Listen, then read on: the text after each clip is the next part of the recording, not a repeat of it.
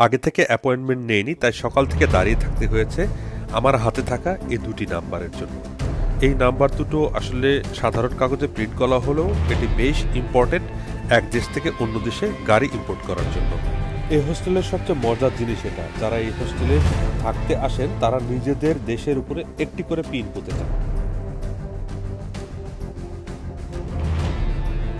Okay, I think we're done for now. H- Yeah. how to stop this car? Drive করে ফিনল্যান্ডে ফেরার পথে আমাকে নরওয়ে এবং সুইডেন ক্রস করতে হবে।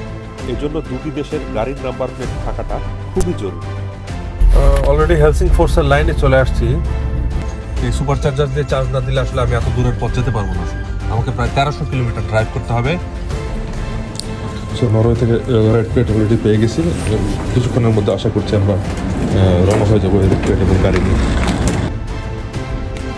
Stockholm Sweden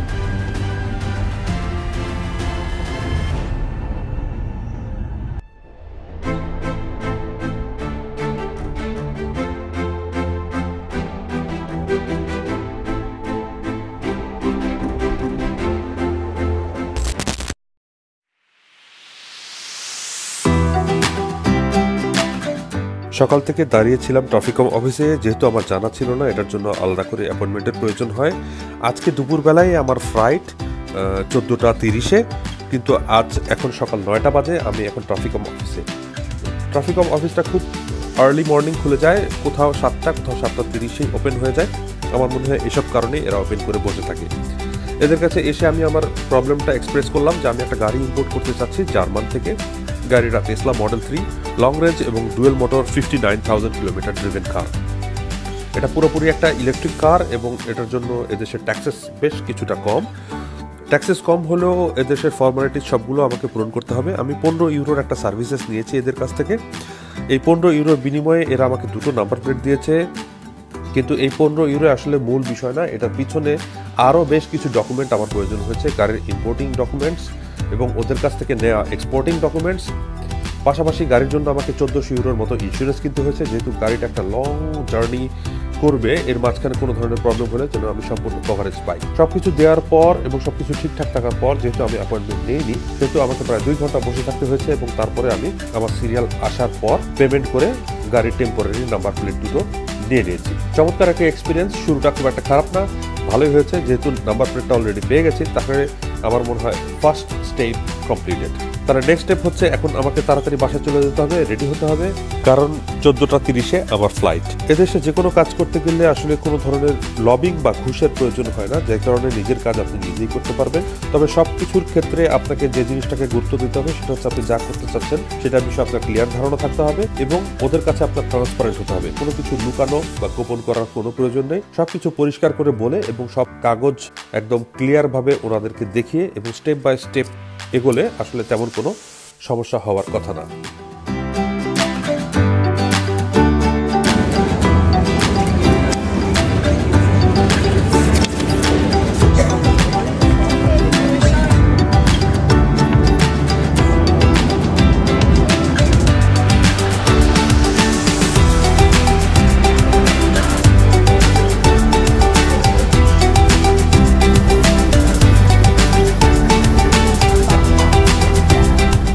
Norway road transport অথরিটির অফিসে যখন গেলাম, তখন দেখলাম অনেকগুলো ভাষায় সতর্কতামূলক বেশ কিছু কথা লেখা তার মধ্যে একটা জায়গায় চোখ আটকে গেল। সেটা বাংলায় লেখা ছিল, সিট বেল্ট ব্যবহার করুন। কি চমৎকার, তাই না? যে হোস্টেলে উঠেছিলাম, তার লবি থেকে আমাকে জানিয়ে দেওয়া হলো, উপরে একটা ছোট্ট ম্যাপ দেখতে পাবে। সেখানে গেলে তুমি যে দেশ থেকে এসেছ, সে দেশের উপর এই পিনটা গেঁথে দিও। তো উপরে যেয়ে দেখি, ইউরোপ আর আমেরিকা পিন দিয়ে গিজগিজ করছে। কিন্তু আনফর্চুনেটলি আমার দেশ বাংলাদেশের উপরে একটিও পিন নেই। ভালোই হলো বিষয়টা। হাতে ছিল সাদা পিন গেঁথে দিলাম নিজের দেশের উপরে। থেকে গেল ছোট্ট একটা স্মৃতি এই ছোট্ট বাঙালির পক্ষ থেকে। প্রত্যেকটা হোস্টেলে দেখেছি কোথাও না কোথাও কোনো না কোনো নতুন কোনো আইডিয়া থাকবে তো এই আইডিয়াটা আমার কাছে কিন্তু বেশ লেগেছে।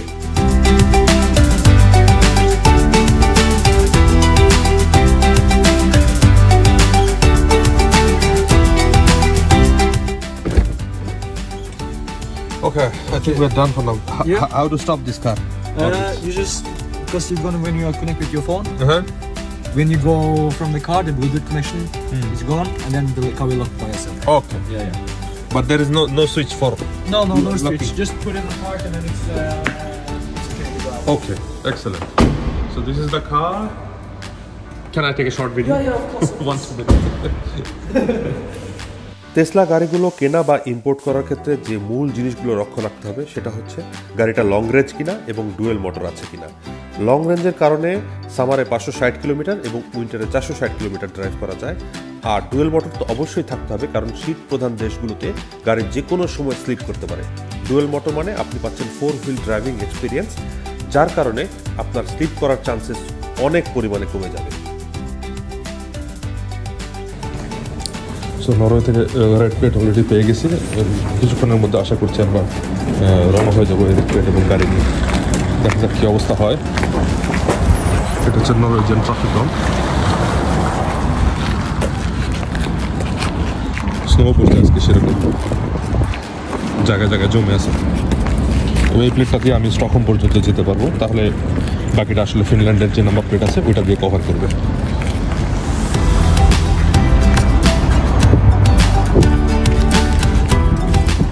গাড়ি ইম্পোর্টিং এর ক্ষেত্রে ডকুমেন্টেশনগুলো খুবই ইম্পর্টেন্ট একটা জিনিস। ডকুমেন্টগুলোতে কোথাও কোনো সমস্যা থাকলে যেখানে যে গাড়িটাকে আবার রি রেজিস্ট্রেশন করবেন, সেখানে যে বিপদে পড়তে হয়। তো এই মুহূর্তে আমার হাতে যে ডকুমেন্টগুলো আছে, এগুলো সব কমপ্লিট হয়ে গেছে। ছোট্ট একটা ওভারভিউ দেওয়ার চেষ্টা করি। এই কাগজটা হচ্ছে গাড়ির মূল রেজিস্ট্রেশন ডকুমেন্ট যেটার বলে আমি ফিনল্যান্ডকে আমার নামে রেজিস্ট্রেশন করতে পারব। আর তৃতীয় টেসলার ছবি সহ পেপারটা হচ্ছে ওয়ারেন্টি কার্ডের মতো একটা জিনিস, যেটা দু হাজার সাতাশ পর্যন্ত ওয়ারেন্টি কভার করবে। আর সঙ্গে থাকছে বেশ কিছু ইন্স্যুরেন্স ডকুমেন্ট এবং টেম্পোরারি নাম্বার প্লেটস ইন্স্যুরেন্স ডকুমেন্টগুলো আমাকে পুরোপুরি কভার করবে এবং গাড়িটাকে পুরোপুরি কভার করবে। আমি যতদূর ড্রাইভ করি এবং ইউরোপের মধ্যে থাকি পুরো বিষয়টা। আর টেম্পোরারি নাম্বার প্লেটসগুলো আসলে প্রয়োজন হয়, যেহেতু গাড়িটার অরিজিনাল নাম্বার প্লেটগুলো খুলে আমাকে জমা দিয়ে দিয়ে দিতে হয়েছে। তার কারণে যতগুলো দেশ আমি গাড়ি ড্রাইভ করে পার হব, প্রত্যেকটা দেশের টেম্পোরারি নাম্বার প্লেট আমাকে অবশ্যই নিতে হবে। সে দেশে নির্দিষ্ট ফি জমা দিয়ে। তো এই সবগুলো ডকুমেন্ট মোটামুটি যদি থাকে তাহলে আপনি একটা দেশ থেকে অন্য দেশে ড্রাইভ করে গাড়ি ইম্পোর্ট করতে পারবেন। যদি এই ডকুমেন্টেশনগুলো না করতে চান বা মিনিমাইজ করতে চান, বিশেষ করে টেম্পোরারি নাম্বার প্লেটগুলো সেক্ষেত্রে আপনাকে ট্রেলার ইউজ করতে হবে। একটা ট্রেলার সাধারণত আটটা বা ষোলোটা গাড়ি যায়। তো এগুলো বেশ এক্সপেন্সিভ তো আপনি নিজেও একটা দুটো গাড়ি হলে নিজে ড্রাইভ করে করতে পারেন। এটা একটা সুন্দর এক্সপিরিয়েন্স হবে। বেশ কিছু সুপার চার্জার দেখে ঢুকলাম, যে টেসলা সুপার চার্জার আছে এখানে বলতেছে এই যে মনে হচ্ছে এগুলাই এই সুপার চার্জার দিয়ে চার্জ না দিলে আসলে আমি এত দূরের পথ যেতে পারব না। আমাকে প্রায় তেরোশো কিলোমিটার ড্রাইভ করতে হবে। তো সেটার ফার্স্ট ওয়ে হচ্ছে ফাস্টেস্ট ওয়ে হলো সুপার চার্জারে টেসলাটাকে চার্জ করে নেওয়া। আটশো কিলোমিটার আওয়ার চার্জ হচ্ছে বলে। দেখি চার্জিংয়ের কী অবস্থা আসলে।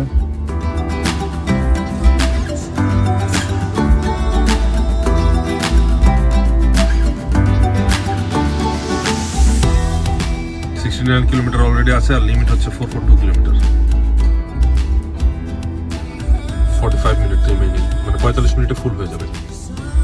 ও গুড অসম যা একটু খাওয়া দাওয়া করে আসি তাহলে, ততক্ষণ এটা হতে থাকে।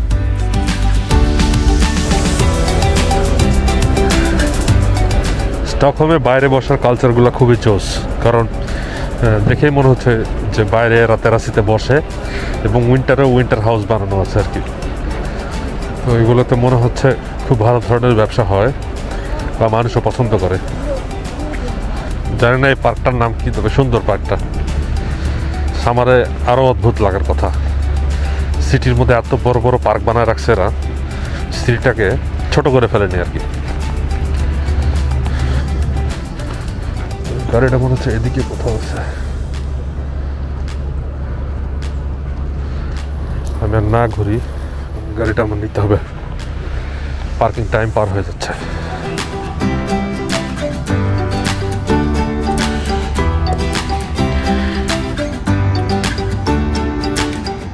Stockholm, Sweden.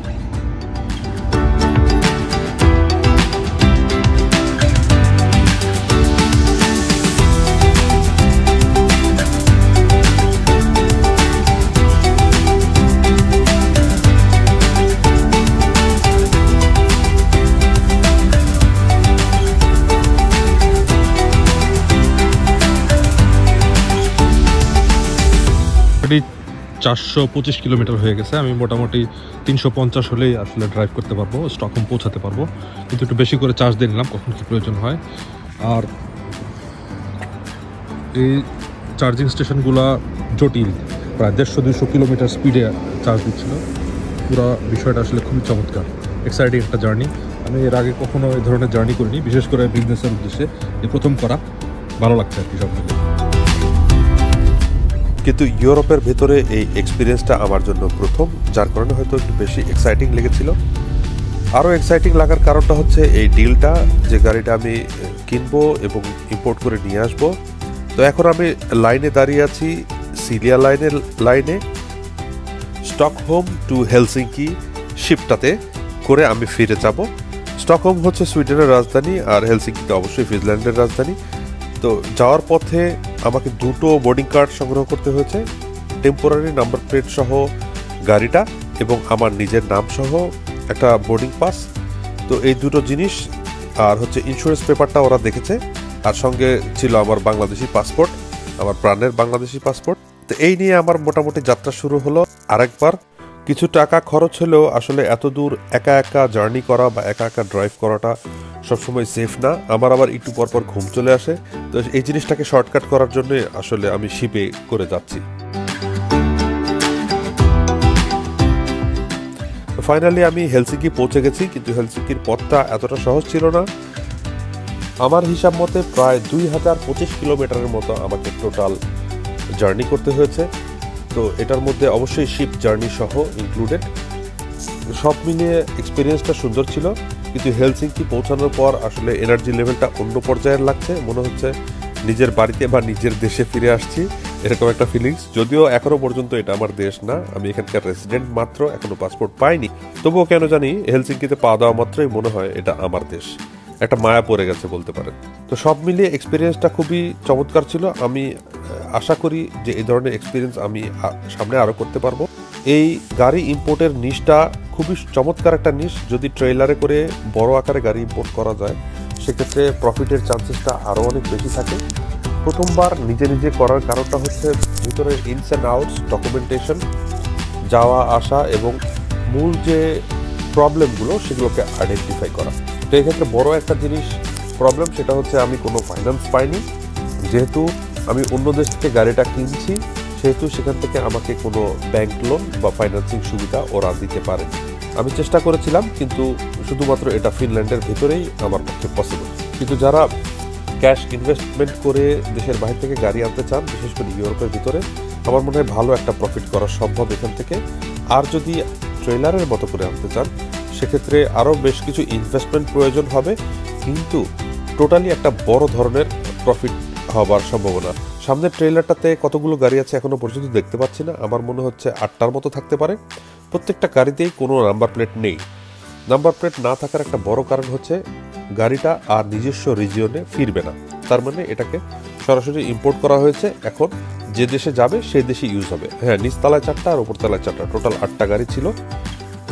তো আটটা গাড়ির মধ্যে যদি চারটা গাড়ি বড় আকারে করা যায়, একটু হাই রেঞ্জের পঁচিশ তিরিশ হাজার ইউরো যদি একটা প্রাইস হয় তার উপরের তলায় মোটামুটি এক লাখ ইউরোর গাড়ি আর নিচতলায় যে গাড়িগুলো দেখলাম, সেগুলো মোটামুটি একটু যদি লো বাজেটে করা যায় তো চারটা গাড়ি হয়তো চার দশে চল্লিশ হাজার ইউরো তো এই মোটামুটি এক লাখ চল্লিশ বা দেড় লাখ ইউরোতে একটা ট্রেলার কমপ্লিট করে ফিনল্যান্ড পর্যন্ত আনা সম্ভব। আনার পরে রেজিস্ট্রেশনগুলো কমপ্লিট করলে আমার মনে হয় এখান থেকে বেশ ভালো একটা পরিমাণ মার্জিন বা প্রফিট বেরিয়ে আসবে। তো কার ইম্পোর্টটা আসলে পৃথিবীতে নতুন কিছু নয় এবং অনেকেই করে করে আসছে। কিন্তু আমার অনেকদিন ধরে শখ ছিল জিনিসটা শিখব, জানব তার কারণেই এভাবে যাওয়া এবং করা। হয়তো এই এই উইন্টারটা আমি পুরোটা চালাবো, আর সামারে এই গাড়িটা সেল করার চেষ্টা করব এবং নেক্সট উইন্টারে হয়তো আরেকবার অন্য কোনো দেশ থেকে আরেকটা গাড়ি ইম্পোর্ট করে আমি ট্রাই করব যে এক্সপিরিয়েন্সটা কেমন হলো। বাঙালি কমিউনিটির পাশাপাশি এশিয়ান আরও বেশ কিছু কমিউনিটির সাথে আমার বেশ যোগাযোগ রয়েছে। Recently Indian community Tamil community এবং নেপালি কমিউনিটিতে যারা বিভিন্ন ধরনের প্রোগ্রাম অ্যারেঞ্জ করে, সাংস্কৃতিক প্রোগ্রাম এবং তাদের নিজস্ব জাতীয় প্রোগ্রাম সেই প্রোগ্রামগুলোতে যাওয়ার কারণে তাদের সাথে ভালো একটা রিলেশন হচ্ছে। আমার মনে হয় ফরেনাররা এখানকার যারা ফিনিশ নেটিভ আছে, তাদের থেকে বেশি গাড়ি কেনাবেচা করেন এবং প্রায়ই গাড়ি চেঞ্জ করেন। তো সেক্ষেত্রে এটা একটা বড় ইজিয়েস্ট ওয়ে হতে পারে আমার জন্য, যেন আমি খুব সহজে তাদের কাছে অ্যাক্সেস করতে পারব বা তাদের কাছে সেল করতে পারব বলে আমার মনে হয়।